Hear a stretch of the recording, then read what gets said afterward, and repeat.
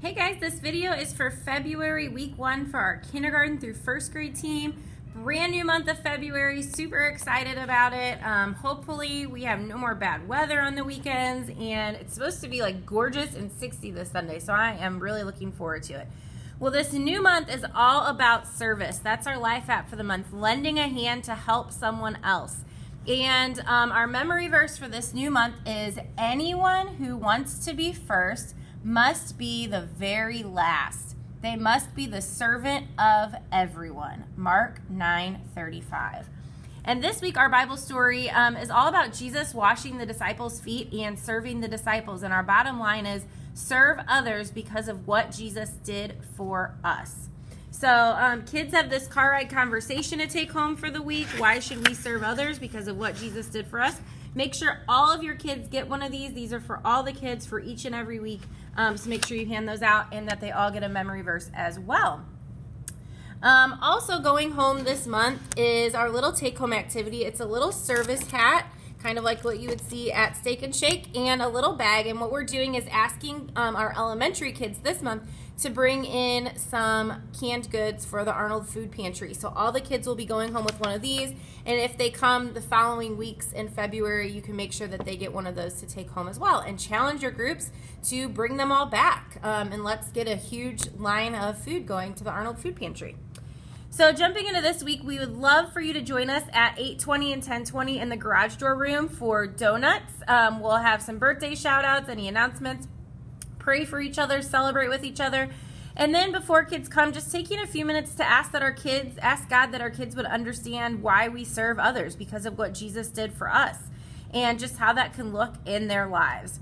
Then we'll be done with that by 8:30 and 10:30 to head back to your room to make sure everything is ready to go.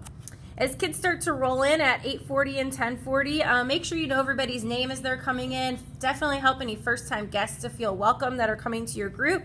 And then um, you can play head, shoulders, knees, and toes. And um, you can go whisper or slow or act like you're underwater. Um, another option that you can do if you would want is you can have kids decorate their little service hats. Um, you could tell them we're going to start learning about service this month. Maybe they've seen someone wear one of those hats at a restaurant before. They can decorate that, or you can do this at the end of service while you're waiting for parents. So you could do that before or after service. Either one, they can decorate those, or you could play head, shoulders, knees, and toes. Um, then, um, when service starts at 9 and 11, your interactivity, what you're going to do is I have one of these per room, so you have to huddle all the kids up in kindergarten, all the kids up in first grade, and you're going to read the foot book by Dr. Seuss. And um, as you go, you're just going to keep interest high by guiding kids to stomp their feet every time they say left foot, right foot. Um, you can also show them slow feet, quick feet, trick feet, sick feet while staying in place. So then you'll close it down by saying, whoo, that was a lot of feet, guys. Do you ever have fuzzy fur feet or low feet or high feet? Um, do you ever have wet feet or dirty feet? Well, in our Bible story today, we're going to hear about a time when some people had dirty feet, then wet feet, and finally dry feet. So let's go learn more. So you'll head over to large group. We have live storyteller and host this week. It's going to be a great lesson about um, serving others and how Jesus did that for us. When you get back to your small groups at 9:40 and 11:40, you're going to have your kids sit in the circle and you're, you're going to show them these two dice. I'll show you in a second. And one dice shows who we can serve and the other one shows how we can serve. So these will be made into dice, but these are your who we could serve and this is your how we could serve. And um, what you're to do is you're to invite two kids to roll the dice at the same time and identify the pictures that they rolled. Then encourage the group to brainstorm some ways that they could serve that person with that item and maybe ask them questions if they're stuck, like, oh, could you do this? So you'll close it down by saying, guys, being kind to people who, um, I'm sorry, being kind to people who need friends, helping people when they're sick, or doing jobs we might not like are all great ways we can serve others because of what Jesus did for us.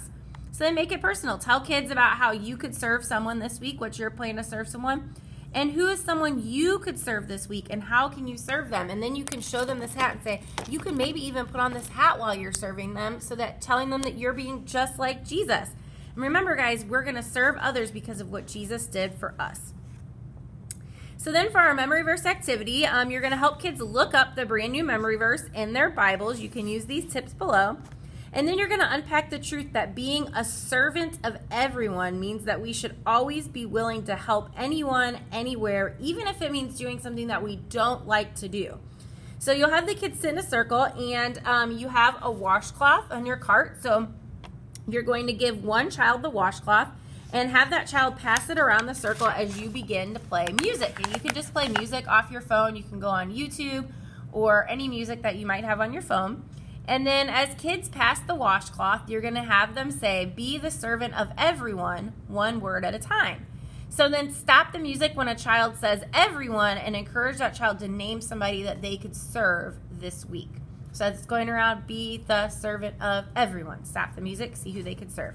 And then you'll just close it down by saying, So, guys, instead of having a servant wash his friend's feet, Jesus took off his outer coat, wrapped a towel around his waist, knelt down, and washed his friend's feet himself. Jesus loved his friends so much that he was willing to do anything for them. And you know what? We can serve others because of how Jesus served us. And sometimes we might serve others by doing things that we don't like to do, like picking up trash or setting the table or doing the dishes, or even being nice to somebody who's being mean to us. But that's the example that Jesus gave us. So the thing to remember this week is serve others because of what Jesus did for us. So then to close down in prayer, you're just going to have kids gather around you and you're going to lead them in this rhythm where you go left foot, right foot, feet, feet, feet. How many, many feet you meet. Sorry, I meant to show my feet. Left foot, right foot, feet, feet, feet how many, many feet you meet. And they can stand up and do that while they stomp. That's what it looks like. So repeat it a couple times, and then you could say, okay, let's say it really quiet now. Or let's say it really slow. Left foot, right foot. And you're going to bring the energy down by having kids shrink and get quieter and quieter. And then you'll use this little conversation below to. So you'll say, wow, guys, every day you meet so many feet family feet, friend feet, classmate feet, neighbor feet. And you know what? Every pair of feet is someone that you can serve. You could serve your family and your friends and your classmates, your neighbors. You can serve everyone. So this week, remember how Jesus served his disciples by washing their feet, and remember to serve others because of what Jesus did for us. So let's pray. Then you can close down in prayer, and just as adults arrive, encourage kids to t- tell their parents one way that they could serve others this week.